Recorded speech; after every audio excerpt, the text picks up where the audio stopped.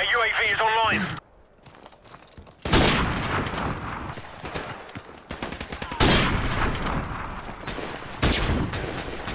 We've taken the lead.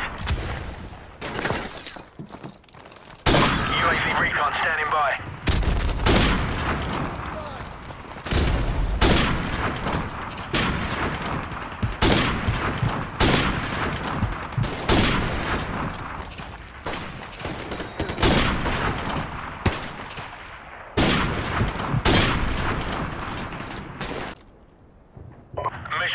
Good work.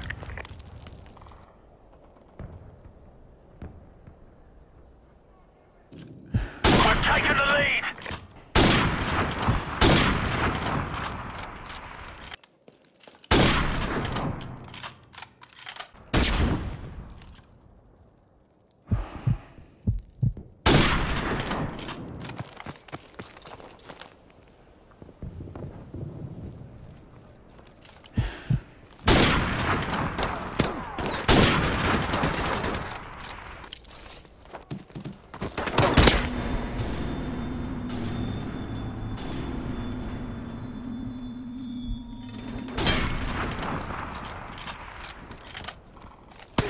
UAV recon standing by.